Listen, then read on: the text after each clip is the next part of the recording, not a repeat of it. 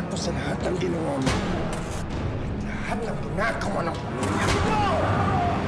Moises ang may hawak kay Justin. May hangganan ang lahat ng kasamaan. Hindi mo pwede hayaan maging mamamatay tao ka.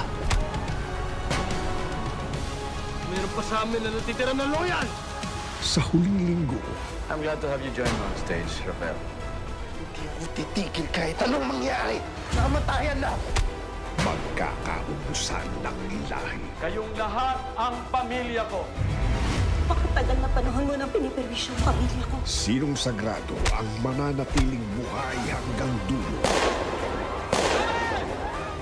Ano pa ba pwede niyang gawin na kasiraan sa atin, ha? Lo, she's my mother!